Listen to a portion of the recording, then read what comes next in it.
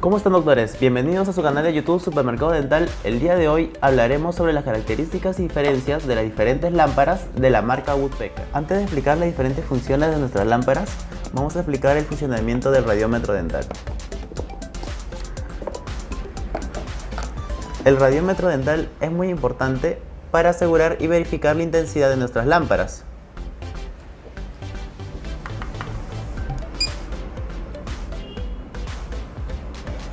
Como podemos apreciar, nuestra lámpara tuvo una intensidad de 1000. Ahora, ¿cuánto necesita una resina convencional para proceder a su proceso de polimerización? Necesita como mínimo 450 de intensidad por 10 segundos. Comenzaremos describiendo el modelo RTA Mini S de la marca Woodpecker, que viene en esta caja. El modelo RTA viene con un único botón que nos permite graduar el tiempo de trabajo de 5, 10 y 20 segundos. El diseño es ergonómico, muy ligero de trabajar. Con su único botón hacemos el fotocurado y pesa 105 gramos. Esta lámpara oscila su intensidad de 900 a 1200. Vamos a verificar la intensidad de nuestra lámpara con nuestro radiómetro.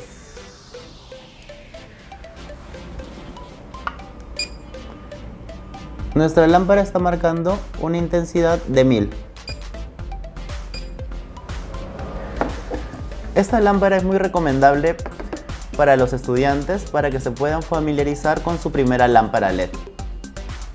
Ahora vamos a explicar la lámpara del modelo D de Woodpecker. Este modelo viene en su único color, color celeste. Viene en esta caja, posee tres botones. Viene el botón de prendido y apagado, el botón de tiempo que nos permite programar 5, 10, 15, 20, 25, 30, 35 y 40 segundos. El modo el botón modo que nos permite la función pulsátil, intermitente y full. Esta lámpara posee una intensidad de 900 a 1200. Vamos a comprobar la intensidad de nuestra lámpara.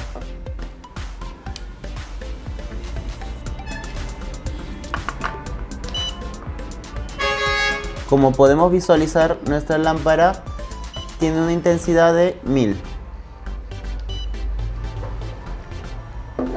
Esta lámpara también tiene una función muy importante que es la función turbo y lo programamos poniendo nuestra lámpara en 5 segundos.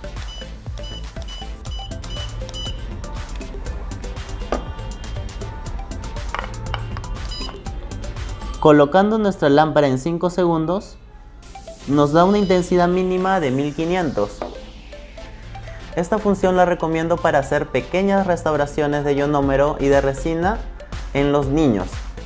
Esta lámpara yo la recomiendo para los profesionales que van a hacer tratamientos convencionales no específicos. Ahora vamos a presentar nuestra tercera lámpara, la lámpara LED E. Esta lámpara viene en su presentación de color blanco y color morado, viniendo en esta caja. Vamos a hablar de una de sus características principales que tiene un cabezal de 360 grados, muy útil para trabajar en la zona posterior, tanto inferior como superior. Aparte también posee un cabezal perpendicular de 90 grados que nos permite fotocurar en las piezas dentarias evitando la dispersión de luz. Vamos a explicar las funciones de nuestra lámpara LED I esta lámpara posee dos modos de trabajo, el modo P1 y el modo P2. Poniendo la lámpara en el, modo P1 tenemos un tiempo de trabajo de 1 y de 3 segundos. Poniendo en su modo P1 vamos a tener la lámpara una intensidad de 2200 a 2600 de intensidad. Probamos nuestra lámpara y verificamos que nuestra lámpara emitió una intensidad de 2575. Este uso nos permite fotopolimerizar una resina de 2 milímetros en un segundo. Este podemos utilizarlo en los casos de pegado de braques y en el uso de pediatría. Vamos a explicar ahora el modo P2 que tiene un tiempo de trabajo de 5, 10, 15 y 20 segundos. Este modo tiene una intensidad de 1000 a 1250. Podemos comprobar que nuestra lámpara tiene una intensidad de 1250 en este momento. Este modo lo utilizamos para hacer nuestras resinas convencionales. En este video hemos descrito las diferentes funciones y características de las diferentes lámparas RTA, LED-D y LED-I y también la importancia de nuestro radiómetro dental.